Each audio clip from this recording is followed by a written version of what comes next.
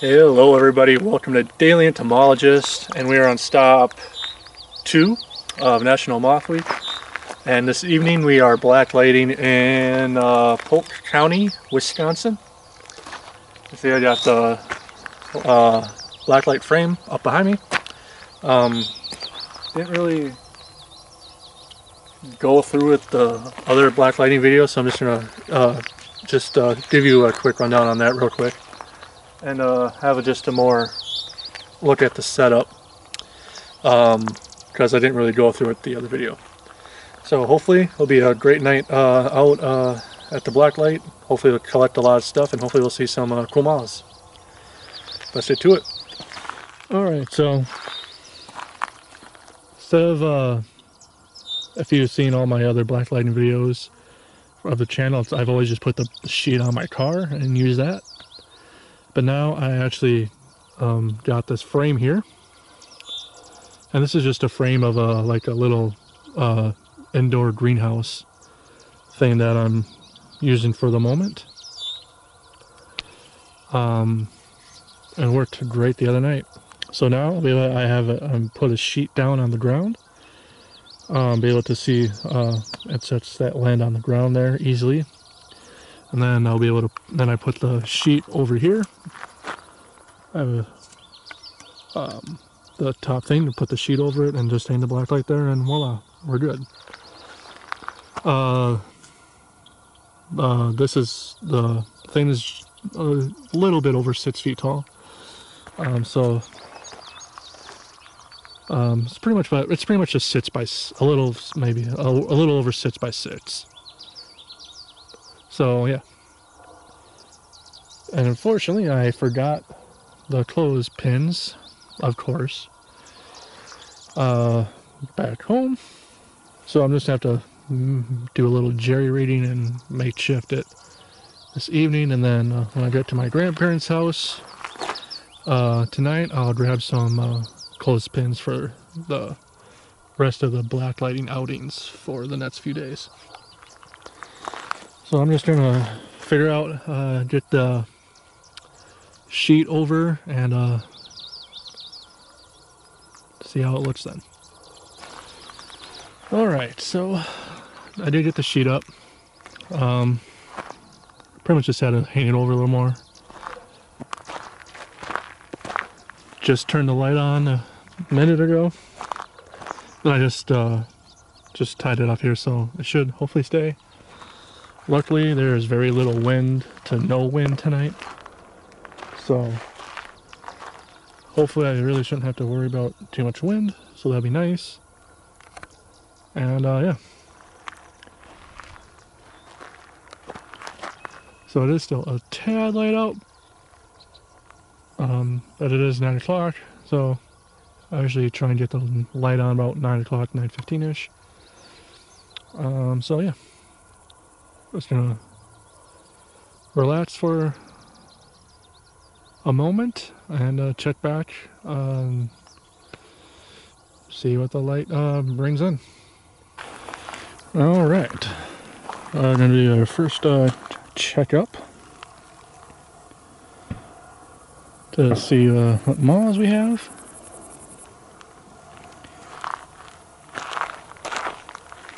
And uh, we already have a sphinx moth right here.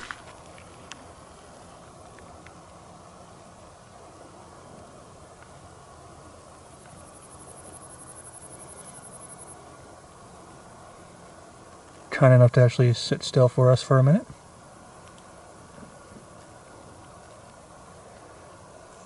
Hopefully it'll sit still here. Uh, enough for me to uh, grab the camera and get a picture of it but I do want to see some other moths here. Little geometer. There's the geometrid.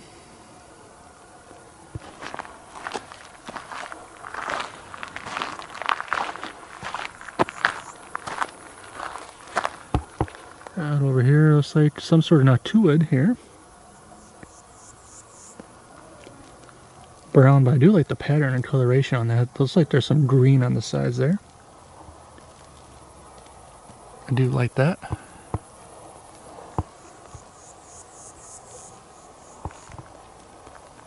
So another uh, moth right there. It's like another noctuid.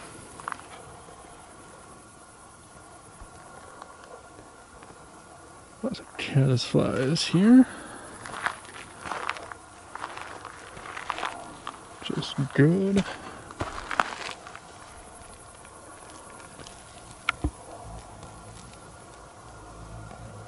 I was hoping to get some caddisflies tonight. Looks like we have a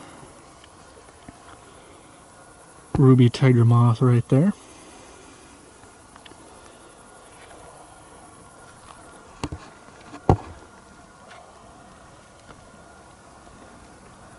And we got another noctuid.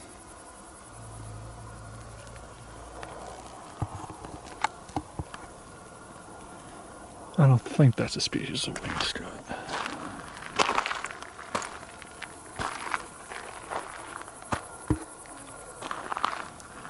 Definitely mosquitoes out.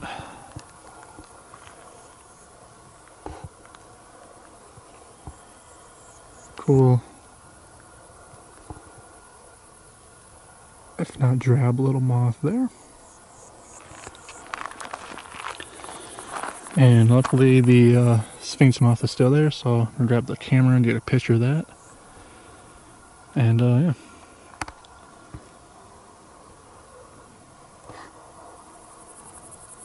Right now, I think it's been a decent start to the night.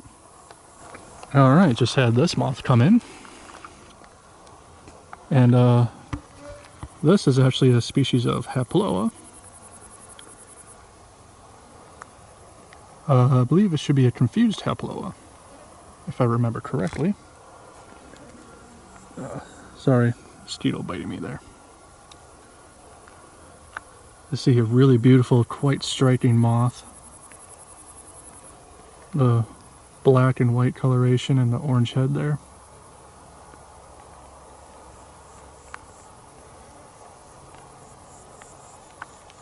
Definitely a beauty. That one just showed up, so I had to show you guys that one real quick.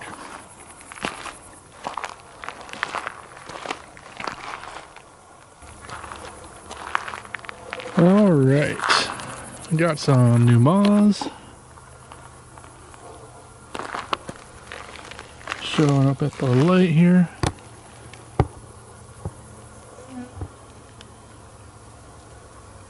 This is a really cool one. Quite modeled pattern.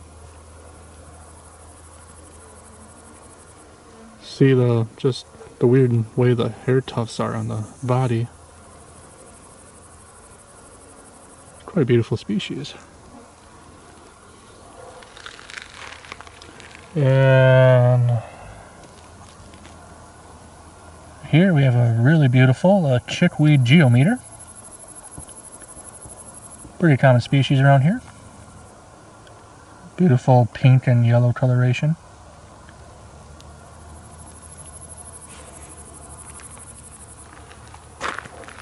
And uh, right here, we actually have a uh, male tussock moth.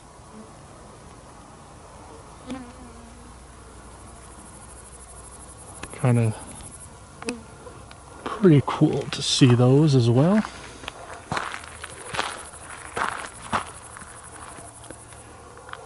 Had something just fly right into my hair.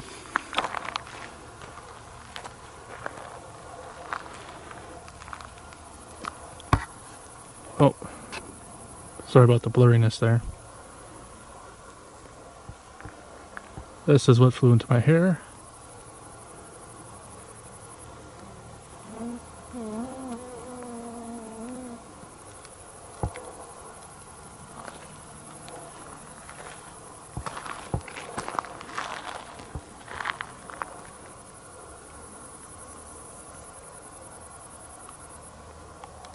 So we got a little moth there, hiding in the sheet crevice. Uh, back of the sheet.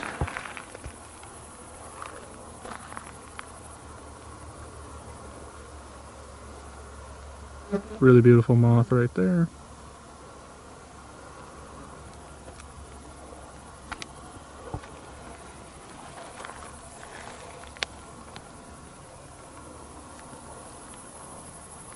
Another really pale colored moth as well.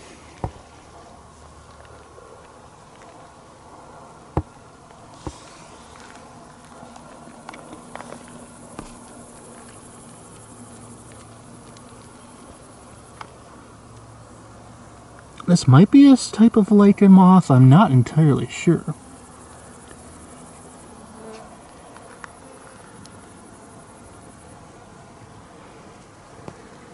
There's more small moths there.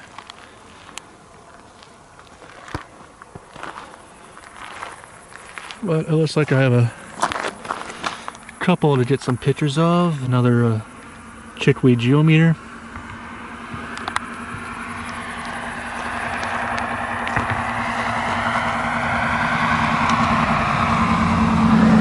Oh, I got this one to sit still here.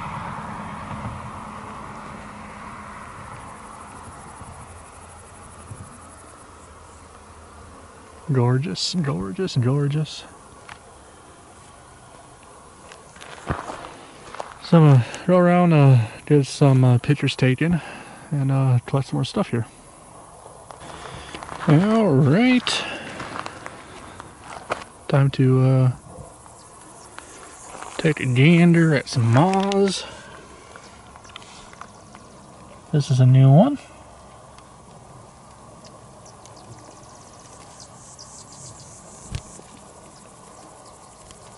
I really like the pattern on that one. Definitely some sort of noctuid.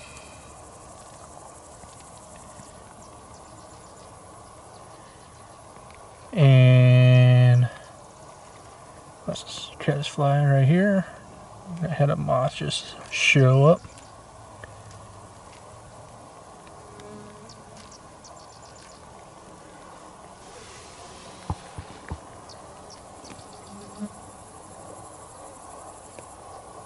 Let's see.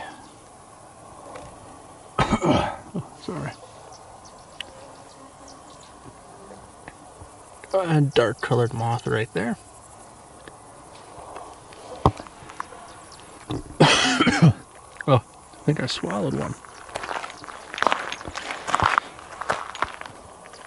Sphinx moth from earlier is still there. If you see here, we actually have another uh, Haploa right here. But as you can see, this is a different individual. The markings are a little bit different. This one has a lot more white on the wings than the other one. And it seems more fused together than the other one was more separated. So that's, I think that's pretty cool right there.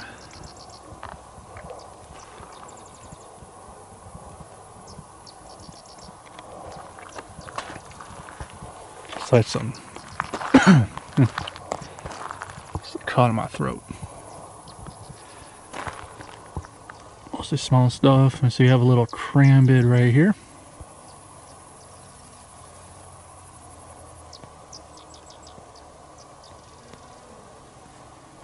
Beautiful. Dang. Sorry, guys. I just don't really like uh, swallowing bugs when you're not expecting to. Oh, what you got here? Got a second sphinx moth of the night. Just look at the coloration on that. That's absolutely gorgeous. Ooh, I really like that one too.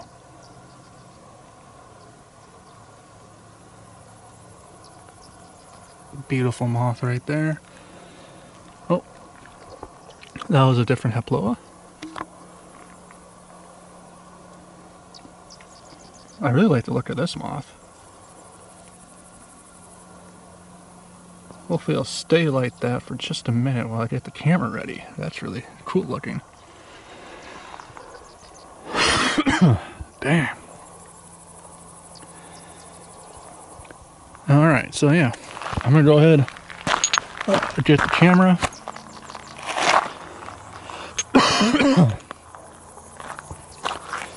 oh, not a moth, but I got here a giant water bug. Kind of dived by me. I just heard something, and all of a sudden I heard a big thump on the ground and looked over, and there it was.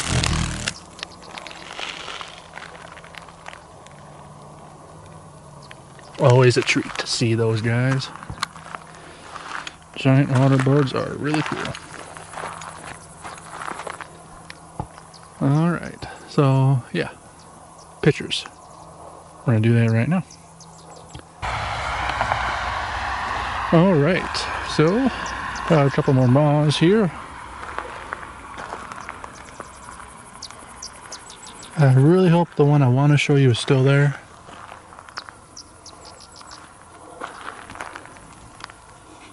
We got a couple of new ones to the party.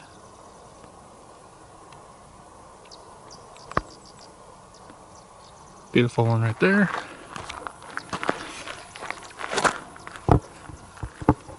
I got this large beauty as well.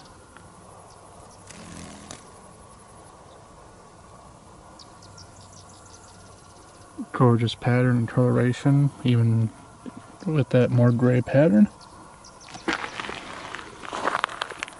No, it's gone.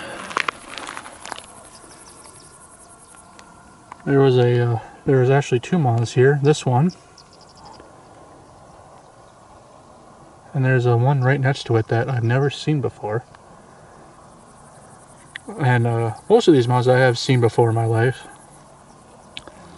But the one that was next to this one was uh, brand new, I've never seen before. Luckily, I did, uh, did get a picture of it. And the good thing I did, or else uh, I don't think I'd ever see it again.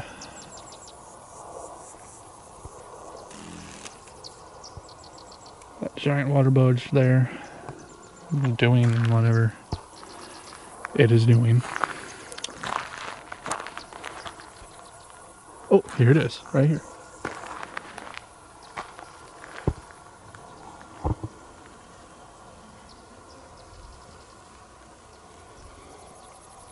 Well, that's just a really, really fascinating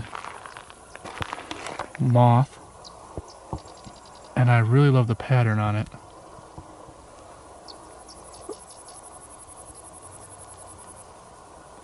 You see the snout on the head there is like turned up right there. And just the way the patterning was that those white or that those black marking black lines. Really cool. Oh and here we have a lichen moth. Definite uh, lichen moth. I believe it's a painted lichen moth actually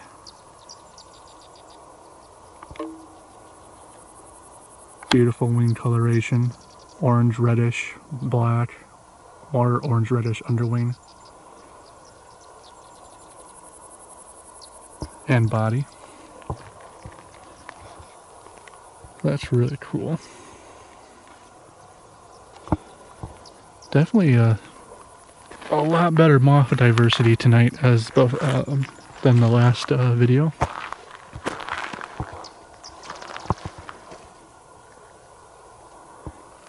Number wise of total insects at the sheet, not as much, but that's okay considering uh, the moths we've been seeing. So I feel the trade-off is pretty good. I've just been seeing some just smaller moths like that and everything. Yeah, so far I say it's been a pretty decent night. Alright, so it's getting kind of late now. Uh, about to patch it up here. Uh, So I'm just gonna do one last uh, run through.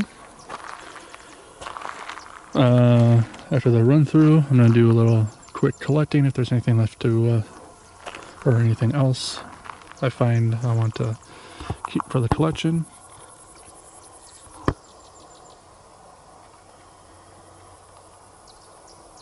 I do really like the look of that moth. That's a, really pretty.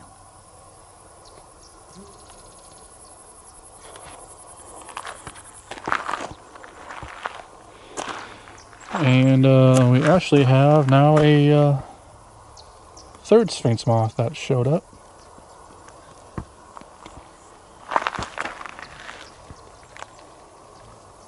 Right there. Got two over here and one on the other side.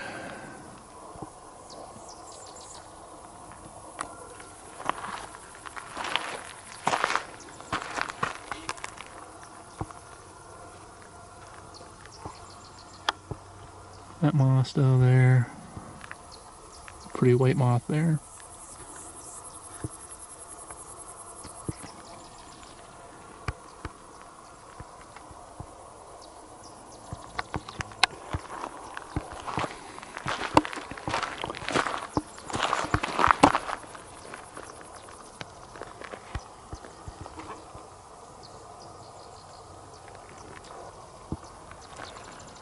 A pretty looking moth.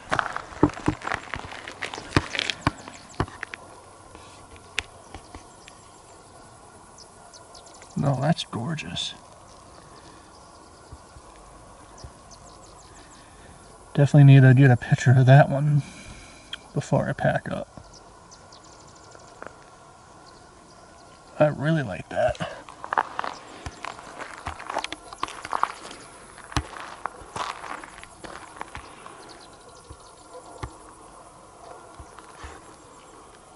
Looks like another noctuid show up.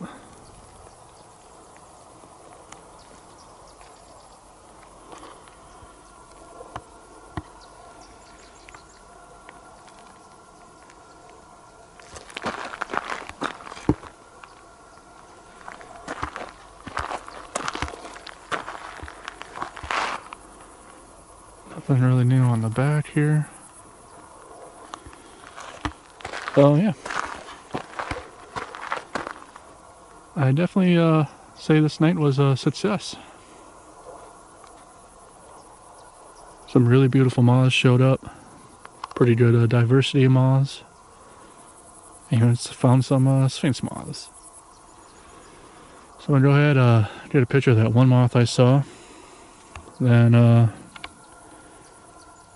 see if there's anything uh, I want to collect for the collection and then go ahead and pack her up and go get some sleep. And rest up for uh, Black lighting tomorrow. Or for the next video, I should say. So, uh, yeah. Hope you enjoyed. I, I, uh, I enjoyed this evening.